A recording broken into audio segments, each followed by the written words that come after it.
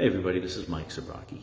Uh, I'm coming to you from my church. I'm actually in the chapel right now because people are inside praying in the main body of the church. Uh, we just finished uh, playing the 845 Mass, which was for my brother Ron. Uh, when I booked it, I didn't know it was Ascension Thursday. So uh, I started the day at a Mass dedicated to my brother. He was the intention. And uh, I want to thank my daughter Heather, who came and played flute at the mass. We didn't make a big thing of this. It, it, was Ascension Thursday, but but the prayers were dedicated and lifted up for my brother. So uh, so today is a year since Ron passed, and uh, it's been an interesting year. I've uh, I've I've spoken to so many people, and uh, I've heard so many wonderful things. I want to thank you all for your kind words. Uh, they really did help and uh, shed a whole other light on things about Ron that were not part of our life together. Uh, and I think that's what I wanted to share with you today. Um, I just want to share with you that the Ron Zabrocki I know and knew was not the same Ron Zabrocki you knew. He's my brother.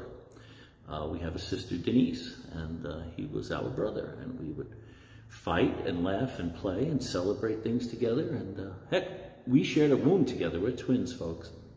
So, uh, you know, we have a bit of a, more of a history together and, or a different history than you would have had with him. But um, uh, we, we spent time with cousins. Hi, Lou, if you get to see this. Uh, we spent a lot of time with cousins and friends, and uh, but we grew up together. And I think the memory I want to share with you that's flooding me today has mostly to do with church. You know that cool Ron Zabrocki that was this, you know, world-class guitarist and he's a producer and all that?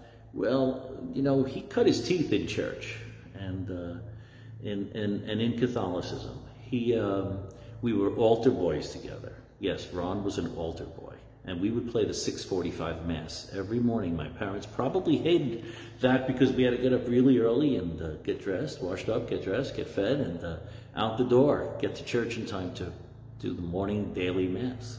And there were people at that Mass. It wasn't like the old five old ladies. It was a good crowd, probably 50 to 100 people some days. Uh, so we were altar service. Uh, we were in the Boy Scouts. Uh, we cut our teeth playing in church. My brother played guitar and sang in the folk group at St. Stanislaus.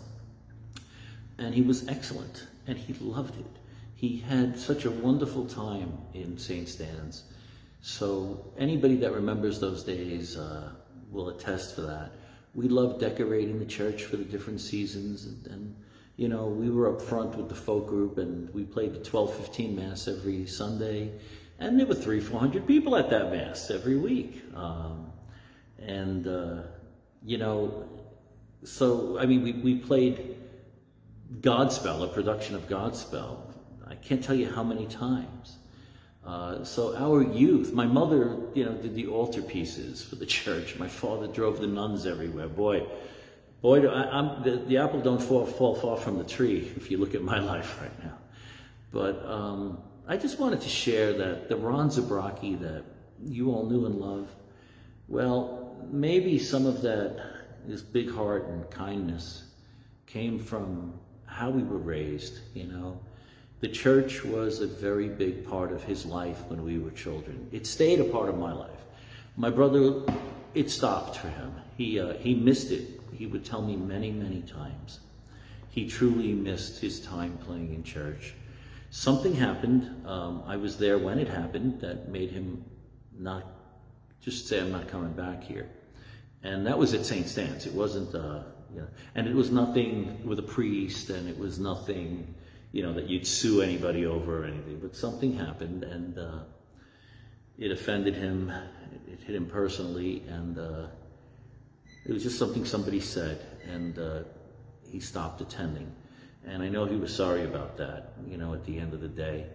And, uh, well, I'm still in church, and, uh, and, and I'm grateful for that. You know, like when, why did Ron play guitar?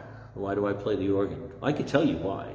When we were like six, maybe eight, Uh, a guy came to our school that ran a music school, and he taught two instruments, accordion and guitar. And when you're that young, my brother called the guitar, and uh, I got stuck with the accordion. And of course, not the coolest thing to do. I mean, there's pretty good ska music with it, and uh, John Cougar used it quite quite successfully in some songs. But um, it was accordion, man, polka accordion. But it, it, it gave me my life. It gave me my life in the church and a life of service playing, you know, as a music director in church. And I'm very grateful for that. So thanks for calling the guitar on. And of course, Ron calling the guitar, Ron took that and that became his livelihood. So um, I just wanted to say on this day, I kind of just came to you today to share those memories, that side of Ron that some of you knew, but a lot of you didn't, you know, because you didn't grow up in our neighborhood and you didn't grow up with us. But uh, he was in church, you know, we were praying the rosary together. We were, uh, you know, uh, looking at the statues and uh, his faith was strong. When we started with telescopes, he would look up at the sky and, uh, you know, feel pretty small because you had to know that there was a God, something bigger than us that um, was out there. And I guess he sees it now face to face. Uh, and where he is now, we shall all be someday. So redeem your time while there is still time, folks. And uh, I just wanted to uh, say nothing more except to say I think of my brother as a brother, somebody who fought together and played together and prayed and sang. We played in bands and stuff, but we started off in church, and uh, that's where I am right now. And uh, I'm clinging to those memories because they were pretty gosh darn diggly good. And uh, thank